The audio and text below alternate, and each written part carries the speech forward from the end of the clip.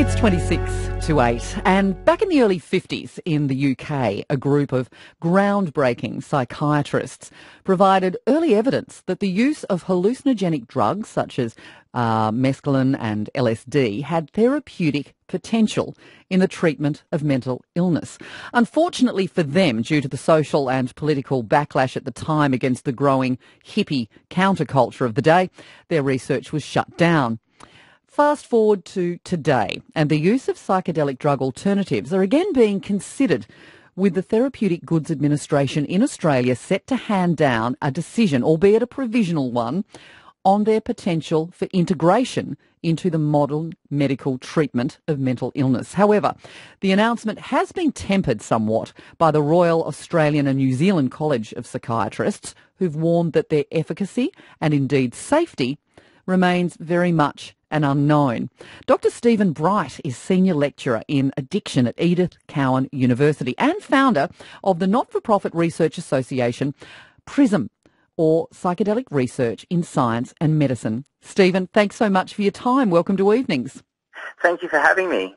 Now, Stephen, how much research has been done into the use of drugs like MDMA or ecstasy or the active ingredient in magic mushrooms as, as treatment options? So, as you mentioned, once these drugs were prohibited, the research stopped. So in 1971, there was pretty much no research conducted. And then over the past 10 years, there's been a psychedelic science renaissance with increasing amounts of research, both looking at the brain science behind it, understanding how psychedelics work on the brain, and also clinical trials into the efficacy of the drugs. And so there's been six phase two clinical trials of MDMA-assisted psychotherapy for post-traumatic stress disorder, a phase three clinical trials just being completed and more underway, are underway. And with regard to psilocybin, there is two phase three clinical trials currently underway to look at the role of psilocybin-assisted psychotherapy to treat depression that doesn't respond to current treatments.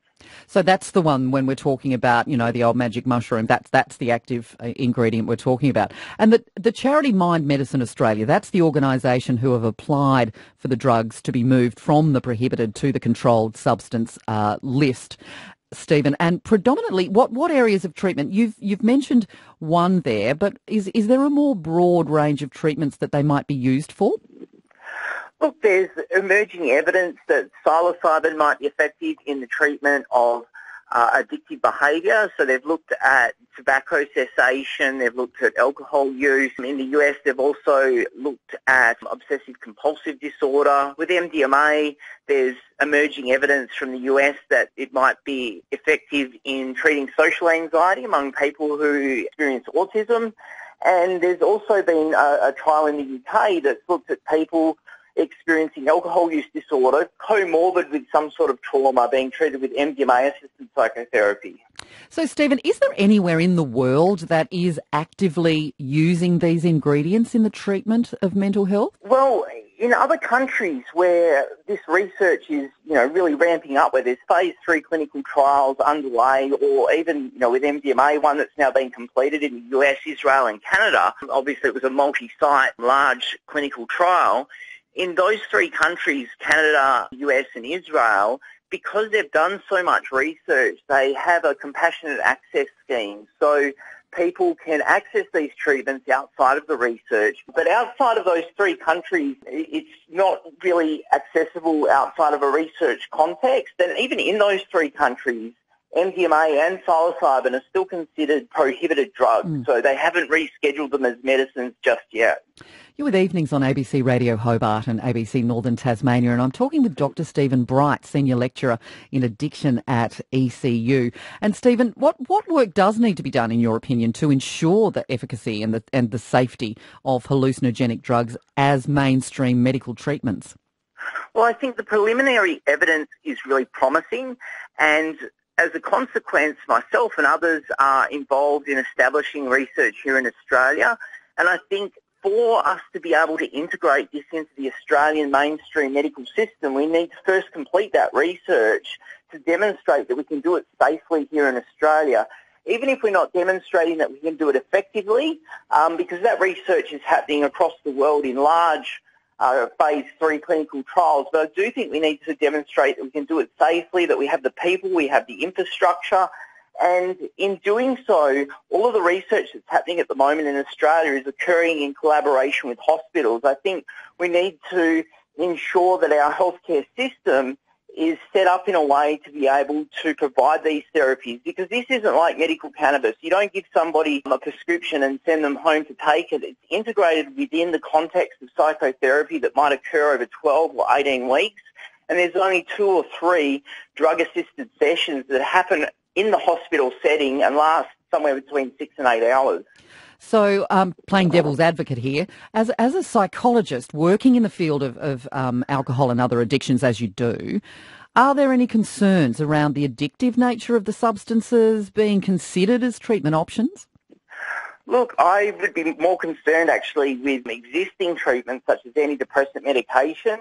People taking antidepressant medication, if they suddenly cease taking it, experience something that psychiatry calls discontinuation syndrome, which is just a fancy word for withdrawal. With the classic psychedelic substances like psilocybin, LSD, there's very little evidence of acute toxicity and there's no evidence of sort of it having an addictive tendency. So people don't become dependent on it. They don't seek out the drug afterwards. And it's even got a safety mechanism built into it called tachyphylaxis. So if you take some mushrooms today, if you try taking some LSD tomorrow, it actually won't work. You have to give it a couple of days before the drug will actually work again. So realistically, Stephen, what sort of time frame would we be looking at before these currently prohibited drugs um, are admitted into mainstream use? This is, you know, hypothetically, that the Therapeutic Goods, uh, Goods Administration in Australia um, does give the provisional tick of approval. So I'm not sure that the TGA will give it the tick of approval. I think the application's been made a little bit prematurely.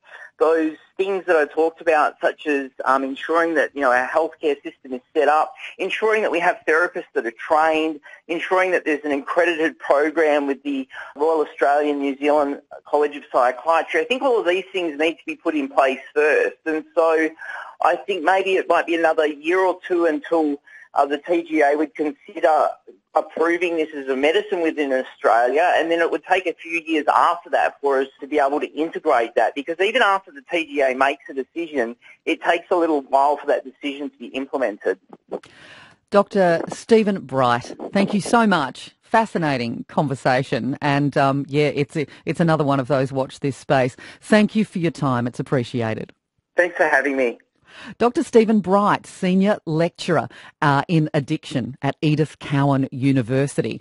And of course, uh, that uh, decision, if it's made one way or the other, uh, is expected to be handed down as early as next week. It's 18 to 8. You're with Evenings on ABC Radio Hobart and ABC Northern Tasmania.